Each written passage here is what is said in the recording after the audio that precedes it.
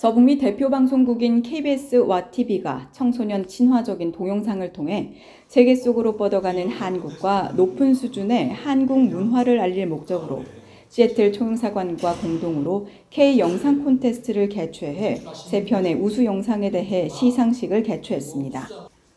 이날 시상식에서 페더럴웨이 통합한국학교 동백나무반 학생들이 1등, 2등, 3등을 휩쓰는 쾌거를 이뤘습니다. 세계 속의 한국을 주제로 진행된 제2회 K영상 콘테스트 시상식은 지난 14일 시애틀 총영사관 1층 회의실에서 아나운서 최승희 씨의 사회로 진행됐습니다. 강병덕 대표는 축사에서 이번에 총 10여 팀이 작품을 출품해 페더럴웨이 통합한국학교 동백나무반 학생들이 금상과 은상, 동상을 독차지했다며 오늘 수상한 학생들에게 진심으로 축하 인사를 전한다고 말했습니다. 시애틀 총영사관 문화 담당 영사인 박경호 영사는 축사에서 수상자와 지원자들에게는 영상 제작에 용기를 줄 수 있는 큰 의미가 있다고 말했습니다. 이번 콘테스트의 심사는 김홍기 KBS와 고문 및 영상 전문위원이 맡았습니다.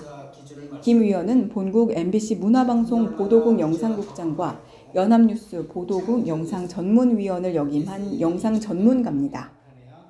김홍기 심사위원은 기획의 우수성, 작품이 얼마나 창의적이었는지, 주제의 적합성, 공모 배경 목적의 이해, 기술의 완성도, 작품의 구성력과 촬영, 편집 기술, 향후 활용도, TV와 유튜브를 통한 홍보 활용을 심사 기준으로 뽑았습니다. 김 위원은 전체적으로 한국 문화 주간을 맞아 세계 속으로 뻗어가는 한국을 알리기 위한 내용으로 얼마나 주제와 적합하였는지, 작품 구성에 있어 창의적이었는지와 메시지를 전달하는 데 있어 편집 기술이나 스킬 등의 높은 완성도보다는 짜임새와 구성력을 보았다고 입상 선정 이유를 설명했습니다. 한국의 MBC 영상국장과 연합뉴스 영상전문위원을 역임한 김홍기 KBS와 고문 및 영상전문위원의 엄격한 신사로 진행된 이번 콘테스트에서 권희찬, 최노아, 임수연, 장서연, 부이태아가 인기 있는 한국 음식이라는 주제로 영상을 제작해 영예 금상을 차지했습니다.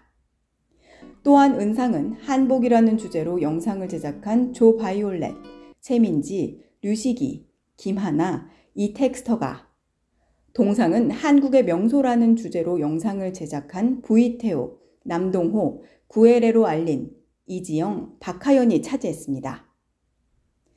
이번 K 영상 콘테스트를 주최한 KBS1은 KBS 아메리카의 서북미 지사로 2017년에 출범했으며 KBS 아메리카와 독점 계약을 통해 워싱턴주와 오리건주 등 서북미 지역의 KBS 월드 프로그램을 KBS WA.com을 통해 24시간 라이브 스트리밍하고 있습니다.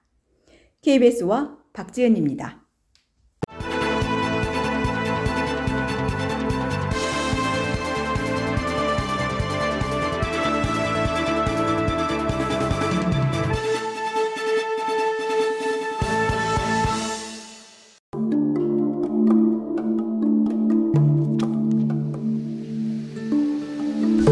KBS와 유스는 구두가 필요 없는 바베큐 그릴 나노 그릴과 건강한 맛의 시작 아리랑 바베큐가 함께합니다.